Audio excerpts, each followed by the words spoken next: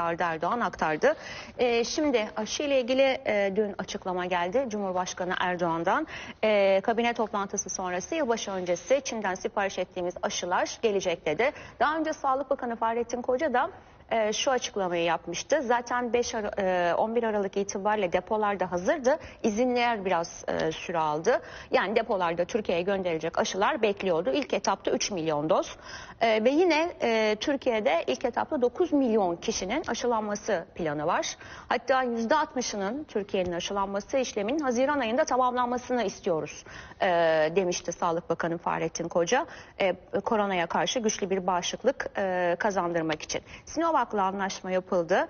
E, orada Covid-19 Pekin gümrüğünde Covid-19 vakası görüldüğü için e, pazartesi yani e, dün sabah gelmesi gereken aşılar biraz gecikti. Bir iki günlük bir gecikme olarak söylenmişti.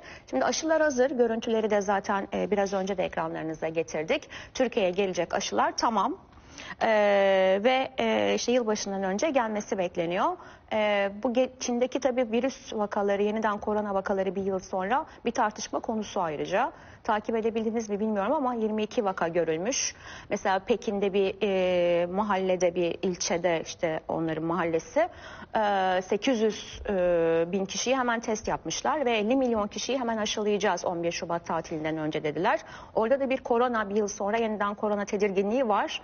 Bir yandan da bir an önce aşılanmaya geçilsin. Virüs mutasyona doğuruyor. Bir yandan o tartışma var. O inceleme devam ediyor.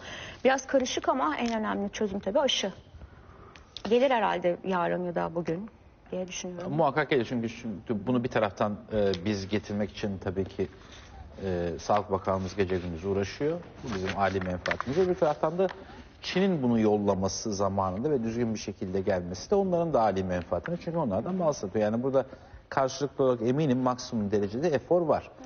E, Çin'deki bu vaka meselesi Saklama koşullarında uzun süre e, bu Sinovac aşısı e, saklama koşulları sağlandığında hani uygun koşullarda uzun süre kalabiliyormuş, bekleyebiliyormuş, bir sorun olmuyormuş, bozulma gibi bir durum olmuyormuş der uzmanlar. Anladığımız kadarıyla Ondan uzmanlardan evet diğer inaktif aşılarla de. aynı. E, ama bu arada şunu da belirtelim. Bu hani e, Biontech aşısıyla ilgili çok ciddi e, eksi 70'lerde 80'lerde saklama Koşulu yok. koşul hayır var ya. Ha, Onlar da var. Türkiye'de e, yani çok bu bahsedilmedi ama bu e, kriyojenik e, sak, e, seviyede saklama için e, ciddi yat- e, şeyler imalatlar da var. Yani aslında Türkiye'de dünyanın böyle önemli eksi 70-80'lere ulaşan saklama e, Koşulları üniteleri hazırlanabilir diyorsun. Türkiye'de üretiliyor zaten başka yurt dışı İşte bizden de gidiyorlar. Bizden bir de virgül gidiyor, rica tabii. edebilir miyim? İlk Parti Sinovac aşısı Pekin'den İstanbul'a gelecek. Ee, yarın Türkiye'de olacak. Yılbaşından önce dediğimiz yarın Türkiye'de olacak. Ayrıntılar Mahir Kılıç'ta. Ee, bir dinleyelim o süreci. Ee, Çin aşısı yarın geliyor Sinovac aşısı. Ayrıntılar Mahir Kılıç sen de dinliyorsun.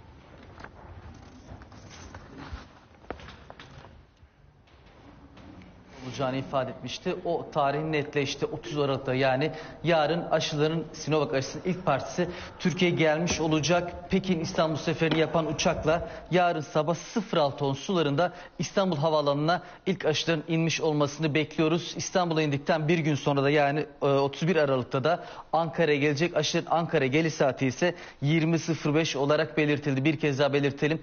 Çin Sinovac aşısında ilk parti yarın sabah 06 ton sularında Pekin İstanbul seferini yapan uçakla İstanbul'a getirilmiş olacak. Bir gün sonrasında ise yani 31 Aralık'ta ise 20.05'te saat akşam saatlerinde Ankara'ya getirilecek getirilecek aşı ilk etapta 3 milyonluk bir e, paket olacağı ifade edilmişti. Bir parti olacağı ifade edilmişti. Aslında tarih olarak 11 Aralık telaffuz edildi. Daha sonra bu tarih ertelendi. Son olarak pazar günü, pazartesi günü Ankara'ya gelmesini beklendi. Kaydedildi ancak Pekin gümrüğünde bir koronavirüs vakası dolayısıyla gelişini birkaç gün ertelenmişti ve son tarih netleşen son tarih 30 Aralık olarak belirtildi. Bir kez daha belirtelim. Ee, Sinovac aşısının ilk partisi yarın Pekin İstanbul seferini yapan uçakla İstanbul Havaalanı'na getirilmiş olacak. Bir gün sonrasında ise Ankara'ya gelecek. Toplamda 50 milyon doz alınacağını ifade etmişti Sağlık Bakanı Fahrettin Koca. Aslında Aralık ayında ilk olarak e, 20 milyon doz alınacağı, Ocak'ta 10 milyon, Şubat'ta ise 20 milyon bir doz alınarak toplamda 50 milyon alınacağı kaydedilmişti. Ancak e, yapılan çalışmalar neticesinde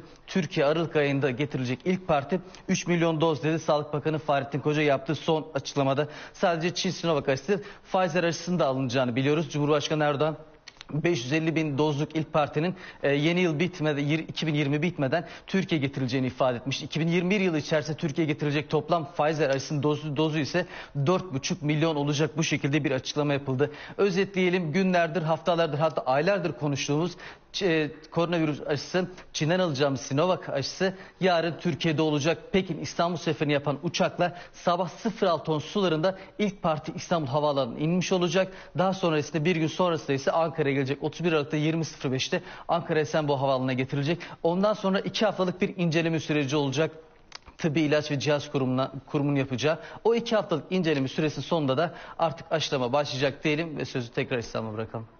Teşekkür ediyoruz Mahir Kılıç. Anladığım kadarıyla aşılar e, yani e, zaten seferlere de hemen arkadaşlarımız bakmış Pekin seferlerine, Pekin İstanbul seferine. E, yarın sabah 6'da aşı e, İstanbul'a geliyor. İstanbul'dan Ankara'ya sevk ediliyor. Yani 31 Aralık e, 20'ye kadar aşılar Ankara'ya ulaşmış e, ve inceleme süreci başlamış oluyor. E, bir iki gün gecikme e, Pekin gümrüğünde görülen koronavirüs vakası nedeniyle e, zaten belirtilmişti. O bir iki günlük gecikme sonrasında Çin aşısı yarın sabah İstanbul'a gelecek. Oradan Ankara Esenboğa Havalimanı'na sevk edilecek ve 14 günlük inceleme süreci başlayacak. 3 milyon doz olarak ilk etapta belirtilmişti. İlk parti geliyor e, ve 9 milyon kişinin ilk etapta aşılanacağını belirtmişti Sağlık Bakanı Fahrettin Koca.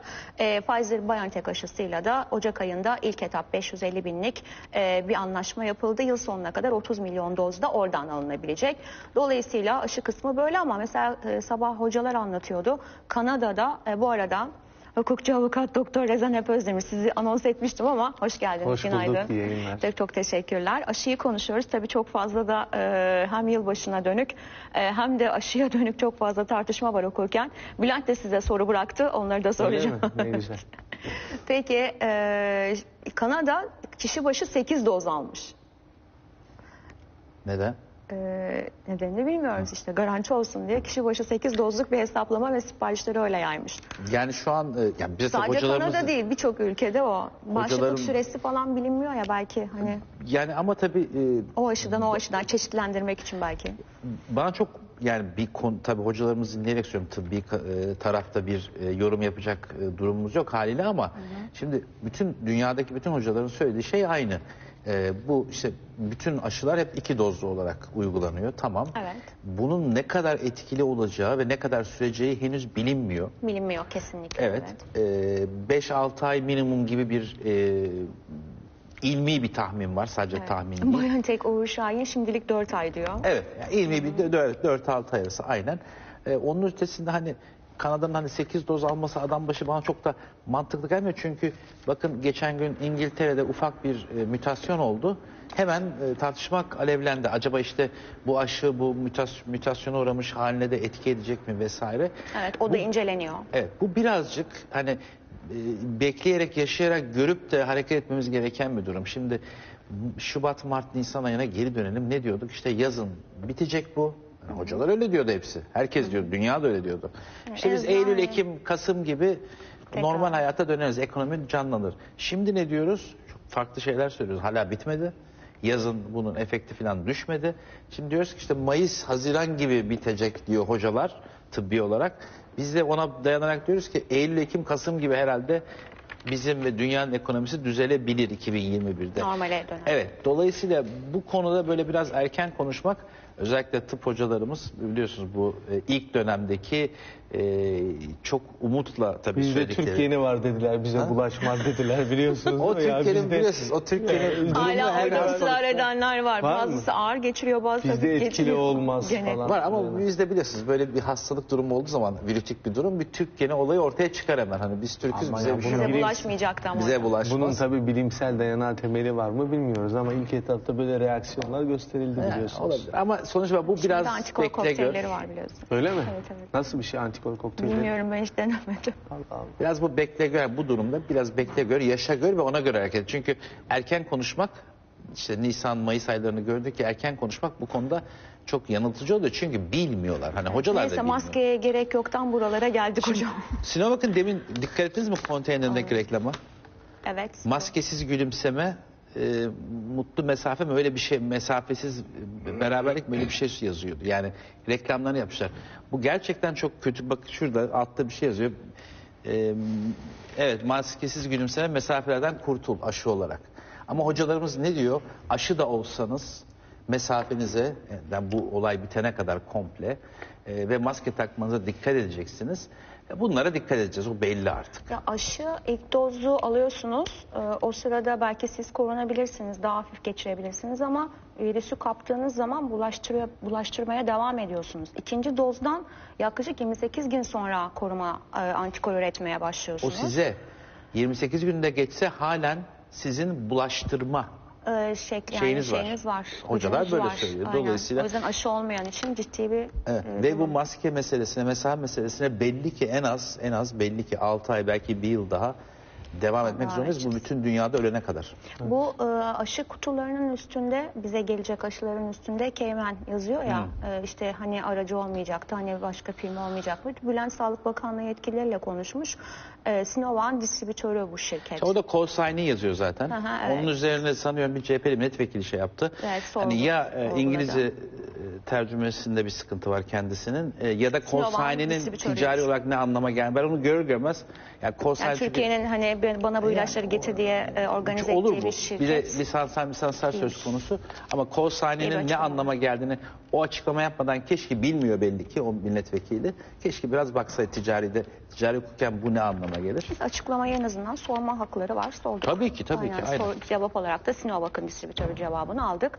Ee, Can Selçuk'i e, ne der? Biraz böyle herkes e, mesela sizin anketlere hiç aşı yansımış mıydı? Bu aşının geliyor olması işte ilk dozunun e, uygulanacak olması biraz rahatlama getirir mi? Bir normalleşme getirir mi? Yoksa hala tereddütler var mı? Şimdi aşıyla ilgili tereddütler var aslında. Biz e, Aralık ayının ortasında yaptığımız e, ankette bunu sorduk. E, aşı hakkında belirli ifadelerden hangisine e, katıldıklarını. Mesela %34.7 e, aşı olmayacağını e, ifade ediyor. Yani burada hala daha bir ikna e, problemiyle e, karşı karşıya olabiliriz diye düşünüyorum. Toplumun e, önemli bir kesimi aşıya e, ikna olmuş değil.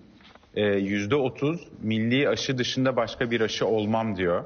E, Şimdi e, biliyoruz milli aşı e, çalışmaları var ama anladığım kadarıyla benim takip edebildiğim kadarıyla e, bu yurt dışından gelen takvim olarak yurt dışından gelen aşılar çok daha hızlı bir şekilde uygulamaya e, hazır halde e, olacak. Dolayısıyla 8 yerli milli- aşı çalışması varmış. E, Dün Cumhurbaşkanı açıkladı. Biri sonuca çok yakınmış. E, Faz 2 çalışmaları devam ediyor ama daha önce Sağlık Bakanı en erken Nisan demişti.